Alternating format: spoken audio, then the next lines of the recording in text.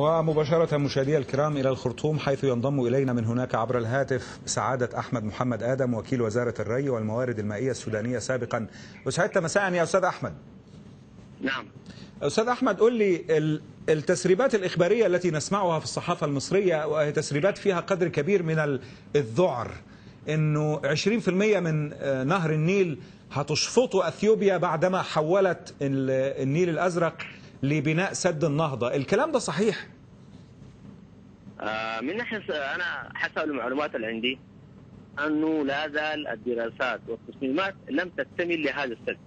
عملية التحويل دي تحت النهر ما بتتم إلا بعد ما الناس يشرعوا في تنفيذ السد نفسه يعني عملية بتاعت أنك تعمل حيث من المفيض اللي هي من ناحية علمية أنك أنت عايز تعمل سد فتعمل تحول النهر الرئيسي في في مفيض وتكون عندك أرض فاضية عشان تعمل استاد الآن ده لسه ما وصل المرحلة دي حسب المعلومات أنه إحنا اللجنة الآن شغالة في لجنة ثلاثية اثنين من كل دولة وأربع خبراء أجانب شغالين لهم سنة تقريبا فين؟ بيجتمعوا فين يا أحمد بيك؟ المجتمع الدولي نعم بيجتمعوا فين سعادتك؟ نعم نعم أين يجتمعون؟ يجتمعون في مرة في القاهره. مرة في أديس أبابا مرة في- في السودان مم. اجتمعوا تقريبا ثلاثة مرات في في اثيوبيا وافتكر اثنين في القاهره ومره في السودان مم. وصلوا لإيه بقى؟ الاجتماعات دي نحن نحن كدولتين مم. نحن كان في ضغوط من جانبنا والمجتمع الدولي بأنه لازم تكون في لجنة فنية تراجع التصميمات وتراجع التشغيل وبيهمنا سلامة الخزان دي الحاجات الأساسية يعني بالنسبة إحنا كدولتين مضربين أو حاجات ممكن نتضرر لأنه أي مشروع فيه فوائد وفيه مضار. فاحنا لو قدرنا نعظم الفوائد ونقلل المضار نكون وصلنا لشيء فيه فائدة للثلاث دول. أما إذا كان مثلا يعني إحنا بالنسبة لنا أهم حاجة الثلاثة دي ثلاث أشياء هي سلامة الخزان. الثانية ده ده بالنسبة ده بالنسبة للسودان سلامة الخزان. التنظيم آه. التشغيل آه. بالنسبة للسودان سلامة الخزان لأنه ممكن يعمل فيضان كبير لو انهار لا قدر نعم. الله نعم. وممكن يغرق الخرطوم يعني لكن. لكن بالنسبة نعم. لمصر آه، آه، الموارد المائية مهمة جدا يا أستاذ أحمد هل يؤثر نعم. على حصة مصر نعم. من الموارد المائية التشغيل ما هو. أنا أقول لك التشغيل نعم. يعني التشغيل لأنه الخزان ده سعته 74 مليار آه والمتوسط نهر النيل الازرق في السنة حوالي 48 مليار مم. فإذا أنت مضمنت انه لابد المياه تنساب بدون ضرر للدولتين. لا مش ممكن تملأه في 10 سنوات. آه. الساعة 74 أو ممكن تملته في سنة واحدة. ممكن تقطع الموية خالص مش صحيح. 20% صحيح. كلها. فهي بديهيه ما ممكن طبعا تملي في سنة واحدة. لابد يكون في جدول ل- ل- ل- ل- لملء هذا الخزان. وإحنا بنفتكر لابد يكون في تنسيق محكم بين الثلاث دول، التنسيق أساسي لضمان ال- ال- الفوا- الفوائد للثلاث دول. بدون طيب، تنسيق انطباعك،. أستاذ أحمد ما هو انطباعك عن آه، مرونة الحكومة الإثيوبية وهل آه، هناك احتمال أن أثيوبيا تضرب عرض الحائط بمصالح مصر والسودان وتعمل اللي هي عايزاه آه، أي شيء وارد،. أي شيء وارد، عشان كده نحن نفتكر أنا في رأيي الشخصي، طبعا ده ما رأي الحكومة، يمكن نعم. رأي الحكومة السودانية لكن ده رايي الشخصي.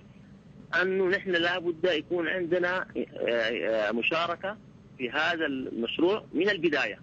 مشاركة في التمويل، مشاركة في التشغيل حتى نضمن أنه ما نتضرر، لأنه لو نحن هم عملوا لوحدهم وهم ضمن التشغيل بتاعهم بطريقتهم الخاصة الضرر حيحصل ومصر. آه.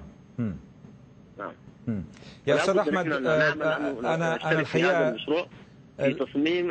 عندنا راي فيه أيوه الدراسه الاثر البيئي عندنا فيها راي فيه التشغيل فيه راي فيه لو. قدرنا نحن نشترك في التمويل يمكن أن نكون عندنا دور في التشغيل أنا أنا بقول لسعادتك آه، أنا آه، أتلقى منذ آه، الصباح إشارات نعم. مخيفة من ال- نعم. ال- ال- المدونين المصريين والمغردين المصريين إنه مصر هتعطش وإنه هيحصل أزمة غذائية كبيرة لأنه الزراعة مش هتلاقي ري في رأيك ده مبالغ فيه؟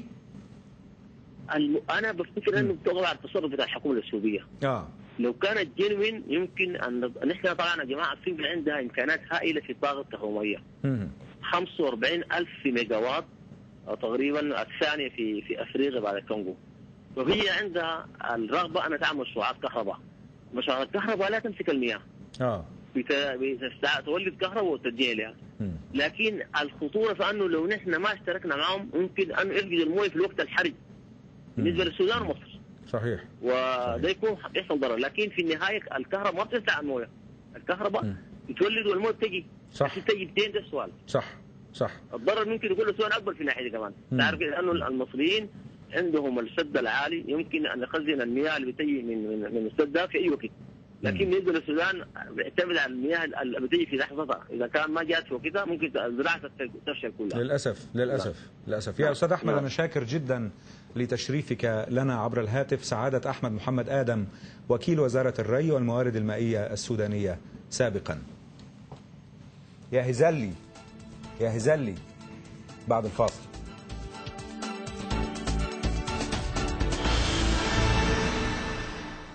شريط المعلومات برعاية البنك الأهلي المتحد.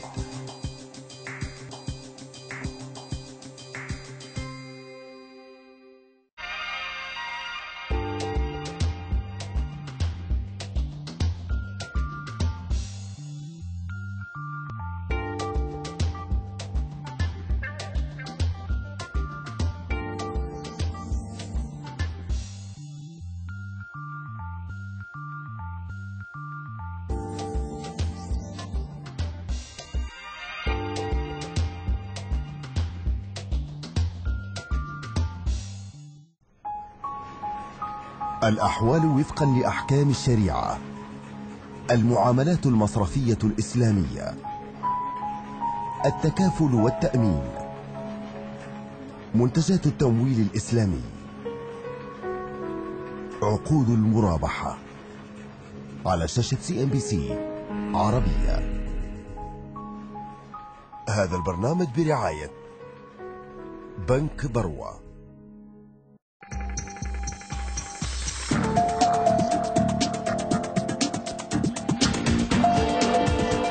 الأسهم الكويتية على شاشة CNBC عربية.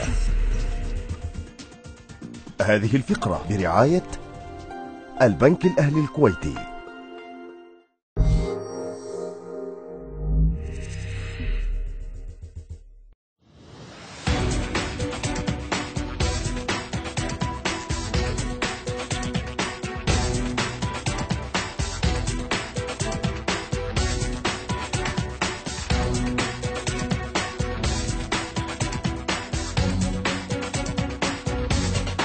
السعودية في أسبوع على شاشة CNBC عربية.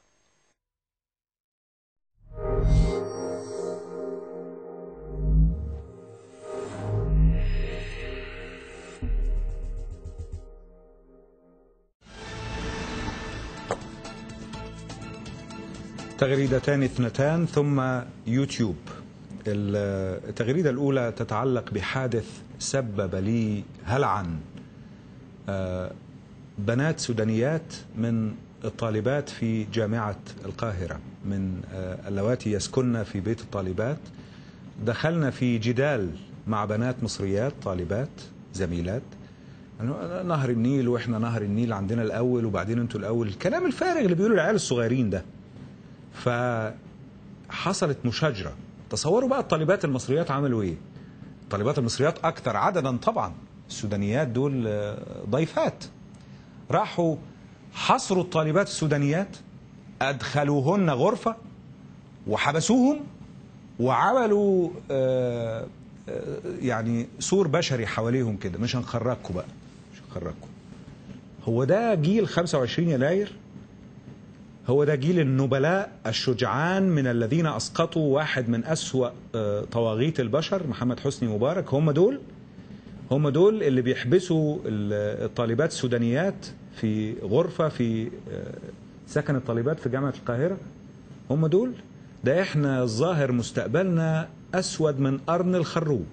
والله العظيم. إن كان هم دول اللي هيعالجونا ويبنوا لنا بيوتنا ويبقوا هم السياسيين في المستقبل وهم صناع القرار وصناع الرأي والإعلاميين إن كان دول اللي بيعملوا كده في الضيفات السودانيات في جامعة القاهرة. الله ينتقم منكم.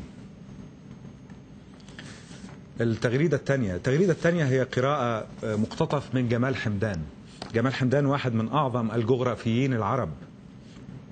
بيقول إيه جمال حمدان؟ تقضي الجغرافيا أن مصر والسودان وحدة واحدة. عرقيا وثقافيا وحضاريا. الفصل بين البلدين كفصل توأمين سياسيين سياميين مش سياسيين.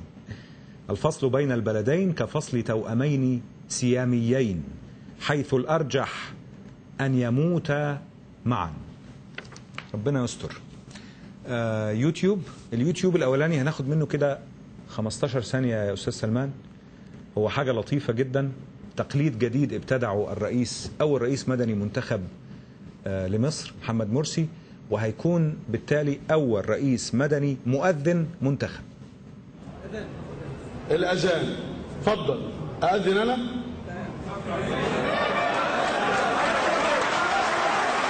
الله أكبر الله أكبر. الله أكبر الله أكبر أشهد أن لا إله إلا الله. أشهد أن لا إله إلا الله. أشهد أن محمدا رسول الله. صوته حلو. قطعا. صوته حلو. شوفوا بقى الحكاية اللي جاية دي حكاية هيزلي حكاية لطيفة جدا. بعض اليهود آه، اليمنيين واليمن كان فيها يهود زي معظم الدول العربية. راحوا آه، إسرائيل وسرقوا معاهم التراث الموسيقي من هذه الدول وخصوصا من اليمن. أغنية يا هزلي اللي هتسمعوها دلوقتي طبعا هتهلككم من الضحك. الراجل دمه خفيف اسمه بوعز نمذقة. بوعز نمذقة ده هيهلككم من الضحك لكنه كمان حرامي سارق التراث الموسيقي اليمني. هسمعكم ال- التجربتين. تجربة نمذقة وتجربة العظيم. أحمد فتحي. ماشي أسأله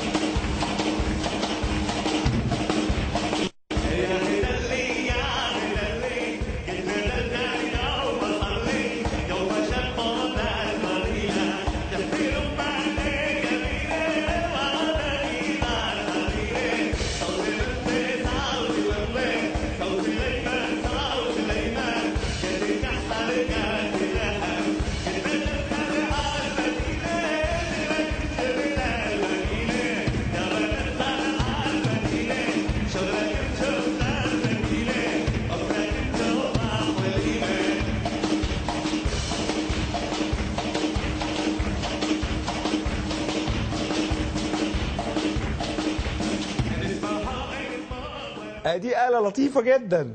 أنا مش عارف اسمها إيه لكن لطيفة جدا. آه والله أنا لازم ندخلها لازم نسرقها منهم. ما هم سرقوا مننا كل حاجة. سرقوا مننا بلد أصلا. وبيسرقوا ثقافتنا وبيسرقوا موسيقانا. آه والتبولة والكبة زي ما بيقول سلمان وادي الموسيقى اهو بيسرقوها. نسرق منهم دي دي لطيفة جدا. أنا مستعد أمشي في الشارع كده على طول. دي لطيفة خالص تخلي الواحد يتخلص من الاسترس الضغوط. أظن إنه صديقنا بوعز ده ما عندوش أي ضغوط من أي نوع. كل ما يتضغط آه شوفوا بقى العظيم أحمد فتحي الذي أعاد هذه الأغنية إلى أصلها آه اليمني. آه هزالي ده طائر صنعاني للأسف انقرض. كان بديع الألوان وكان الشاعر بيشتكي له من قسوة حبيبه بيقول له يا هزلي حبيبي سود عشتي يا هزلي اسمعوا بقى الأغنية الصح بتاعت العرب هتعجبكم أكتر. يا هزلي يا هزلي لقيت اليوم خلي. بدري في وقت التجلي يا هزلي. حالي اللفتة الكون يسهر. من حلا والشعر الاشقر يا هزلي